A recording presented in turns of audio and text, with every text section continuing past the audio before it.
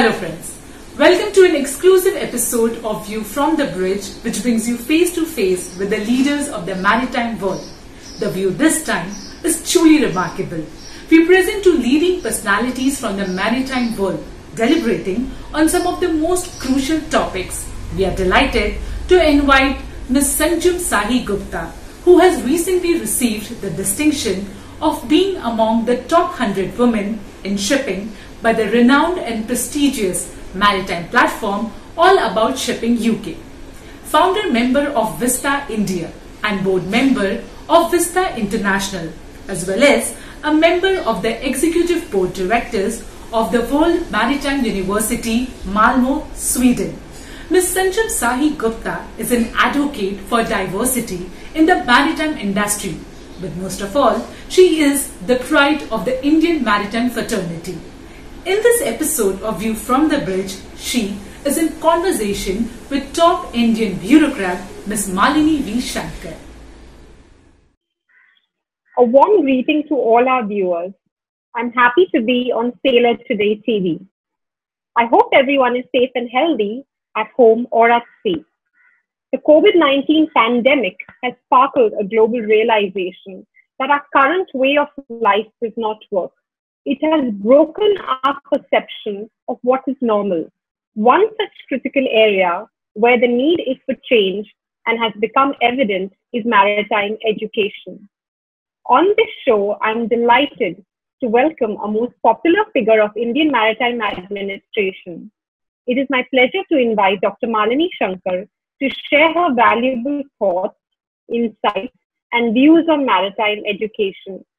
As you all know, Dr. Malini Shankar is a renowned bureaucrat belonging to the 1984 batch of the Indian Administrative Service, former Director General of Shipping, and she's recently been appointed as the Vice Chancellor of the Indian Maritime University. Welcome to the show, Dr. Malini Shankar, and congratulations on being appointed the Vice Chancellor of the Indian Maritime University by the Honorable President of India. Thank you so much, Sanjam. It's always a pleasure to be with you uh, wherever it is. And I'm glad you are the one who is talking to me today. It's a pleasure to be on Sailors today also. Thank you so much. So without much ado, we'll get started. Um, uh, the IMU plays an important role in the development of trained human resources for the maritime sector, ma'am. According to you, what is the current state of maritime education in India and do you think there's scope for improvement? And what are the areas that you feel would require your immediate attention? As we all know, maritime education is structured across the world. Shipping being an international uh, uh, sector, is not something which is left to each country alone. These are governed by international conventions, especially the mandatory courses under the STCW. And um, maritime education broadly divided into two. One is the courses which offer degrees like BSc and BTech, and these are the courses which come under the purview of Maritime University as an entity which offers the degree. And then you have all the other courses which are modular courses, which are pre-sea, post-sea, which are governed by the STCW, and as of today, they are regulated by the Director General of Shipping. Um, I do think that uh, education uh, is foundation for the construction of any uh, developed society and for the country itself. So in that, capacity building has to be a constant effort and not something which is once in years.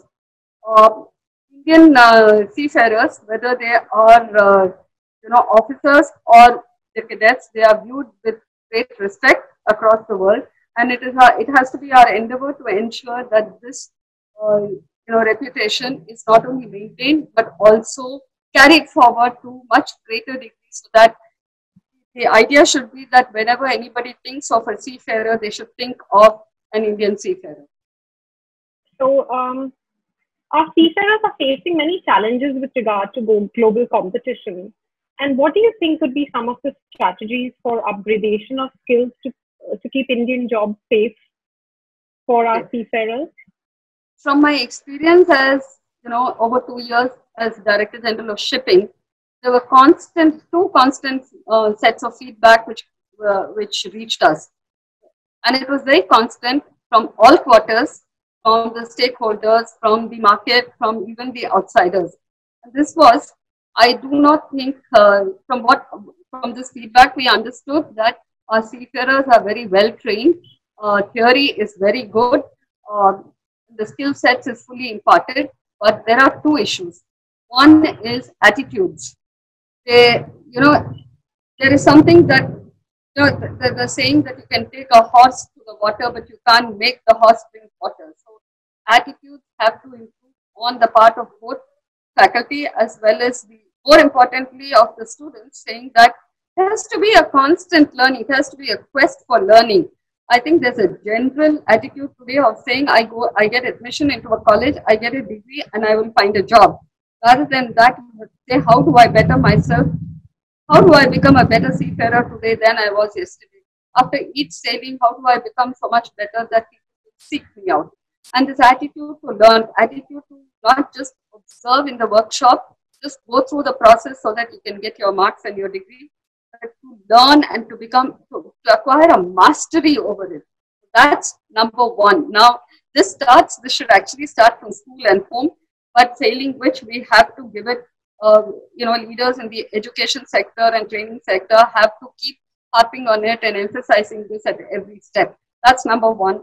The number two feedback that was constant um, is communication. And we live in a very interconnected world, a global world, and uh, English is the lingua franca in the global world and more so in shipping. So we cannot say that we are very proud of our language and we will not learn English. And when I say English, it's not the Queen's English we are trying to learn. It's not the Wren and Martin English. It's not grammar and composition, but the ability to cogently think and to cogently uh, express. So clarity of thought and expression, precision of uh, communicating what you have to say. I think these are very important. Look at our competitors. If it is Philippines, their let's uh, let's not compare skills and knowledge, but their attitude and their uh, communication is par excellence. Similar, most of the South Asian countries focus on that. If you look at the Western countries, they their whole education system is um, focuses on the ability to communicate your knowledge. So while there is a constant, there's a basic knowledge, imparting of knowledge, imparting of skill. There is something beyond that that each stakeholder and not just somebody in the education sector has and I'm sure the shipping companies and the employers are focusing on this as they go along. The seafarer who catch, you know, who masters this will be the one who forges ahead of his competitors. All right. Um, ma'am, given the period that we spent in the lockdown, uh, technology has emerged as a major lifesaver. Look at us today. We're sitting here virtually uh, talking, uh, doing this interview with you. What do you think should be the direction in which we must apply our uh, efforts? Uh, is there something, how can we use technology to better the way of life? I think the entire education sector is working on it, Sanjam. For example, you know, all of a sudden everybody had to go to online classes and I think they have exceeded expectations of most people when they're able to deliver classes from their home or from their office to a myriad of students sitting across the um, country or across a region. Uh, of course, it's up to the students uh, to actually pay attention. There are challenges in uh, online learning as to how many hours you can sit in front of a screen or a computer and actually try to absorb what is being imparted to you.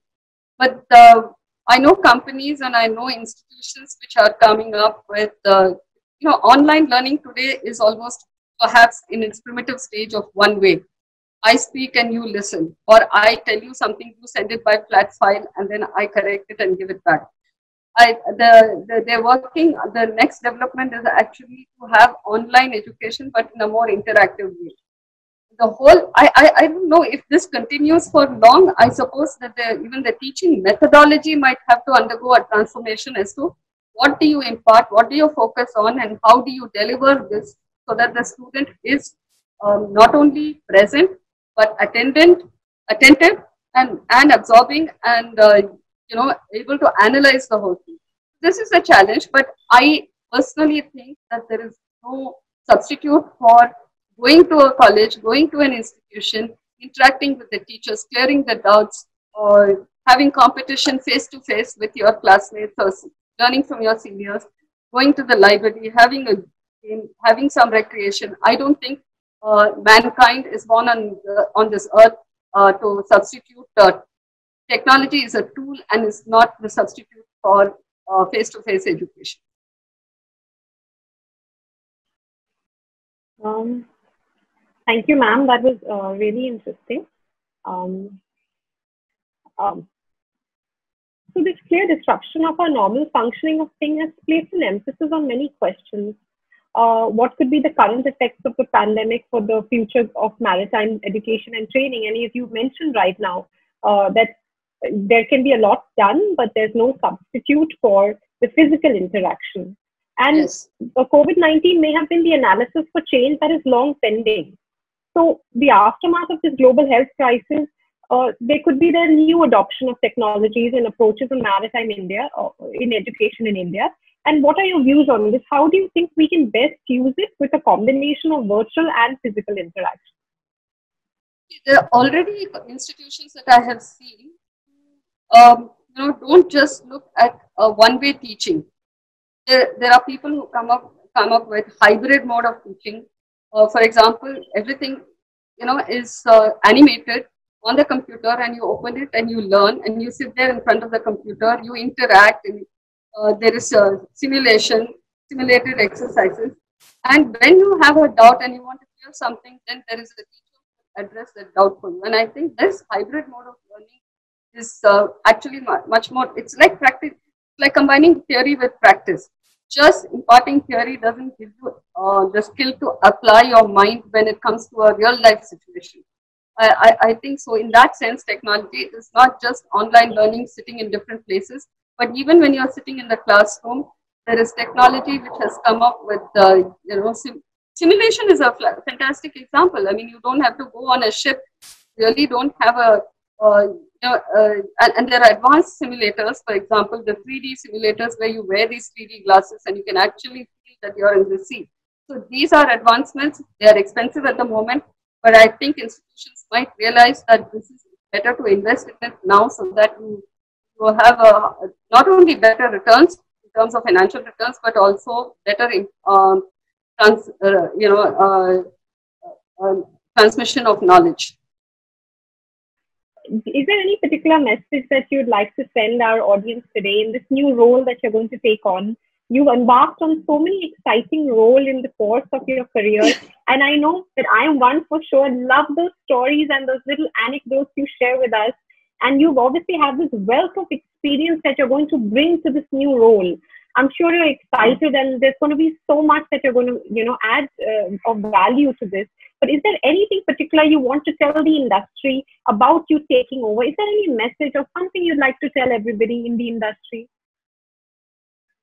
I, I think it's, um, very early days, but all I'd like to say is the university is for you. University is not a standalone entity.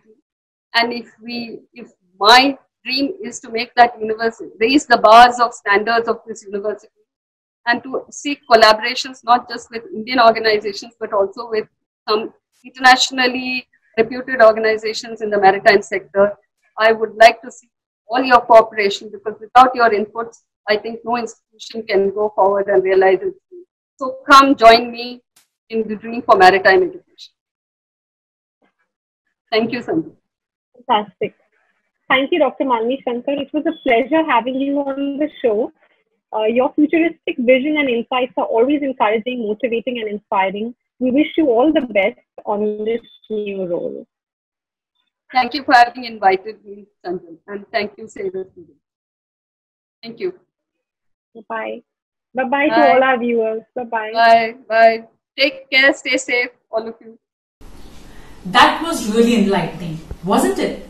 A famous writer once wrote, adjust your sails to the future when you can't change the directions of the wind. This is truer today than ever before. The good news is that there's always a way to restart. So get your engines running. See you soon on another episode of View from the Bridge. Till then, bye bye.